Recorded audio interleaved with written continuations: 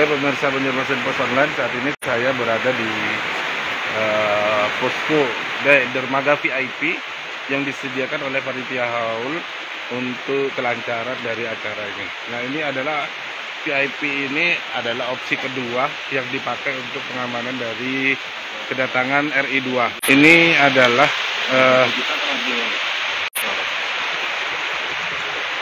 kondisi dermaga apungnya dan ini juga ada dari lanal TNI AL dan perahu evakuasi dari Puskesmas dan lanal beserta ini juga di uh, di dermaga VIP ini. Standby terus uh, petugas yang ada di sini.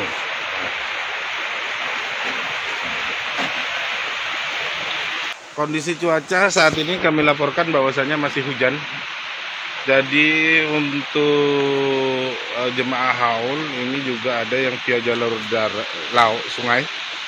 Tadi sudah ada mungkin dari desa-desa seberang yang nanti akan merapat ke seberang sini.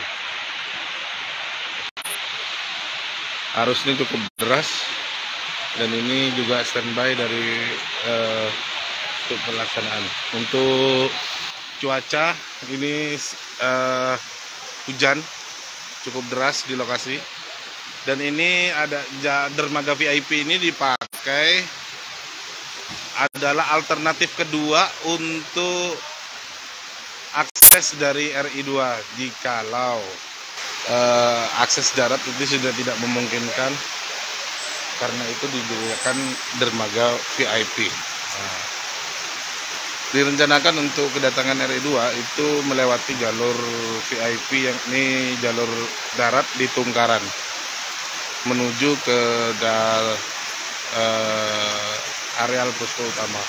Jadi jemaah jika ingin uh, merapat ke titik haul sekumpul di Kampung Keramat ini disarankan menggunakan jas hujan dan payung untuk keamanan dan agar tidak basah.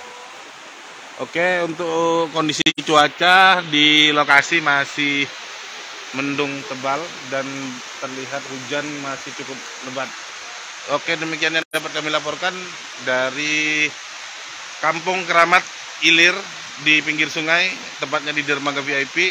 Wassalamualaikum warahmatullahi wabarakatuh.